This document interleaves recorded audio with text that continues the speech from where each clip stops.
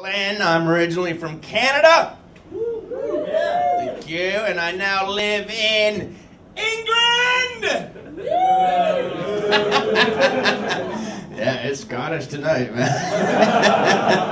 well, my grumbly Scots, I had to move to England, all right? There was no choice in the matter because I met a wonderful, wonderful woman. I met a goddamn English rose, ladies and gentlemen. That's right, that's right. And you don't talk during the show.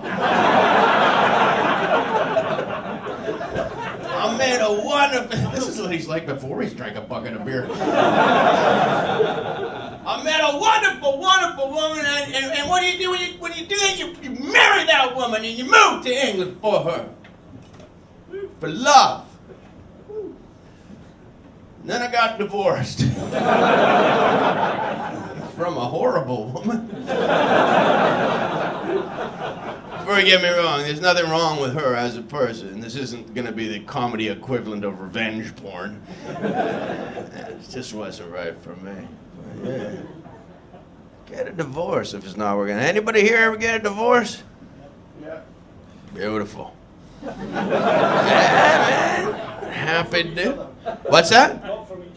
Not from each other. Not from. What the hell would be wrong with that? Are you still happily married? Other men. Oh, yeah, sure, man. Yeah, get a divorce if it's not working out. It's weird though, when you tell people you get a divorce, the reaction's always the same. It's always like, oh my god, no! That is the saddest thing that's ever happened. I'm like, no, it's not. the last year of a loveless marriage is the saddest thing that's ever happened. If you've ever tried to eat eggs while someone stared at you with hatred, just across a breakfast table going, that's right, eat your fucking eggs. Eat your eggs, you little snake, while you ruin that chicken's life just like you ruined mine.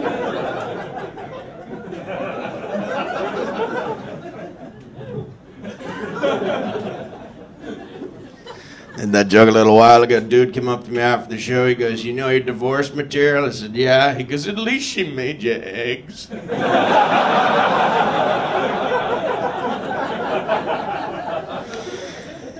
and a divorce if it's not working out. I mean, for us it was easy too, because there was no kids involved, and I'm happy for that, because I'd hate for there to be that sort of meat shrapnel from our dead love.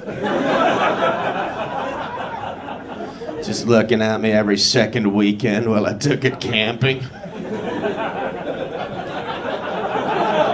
Why do you drink so much, Daddy? you. Now mix that another drink, you know, I like it. Whiskey and vodka! Okay, now take out daddy's credit card and chop up some of his medicine. Bigger! Bigger!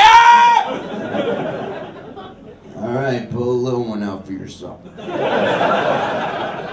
Not that big. Do you remember what happened last time? Do you have any idea how much a kid on coke can talk about toys?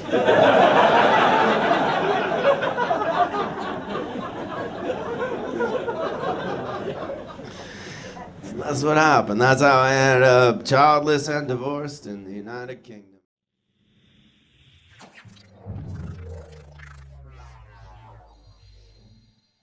Ta-da!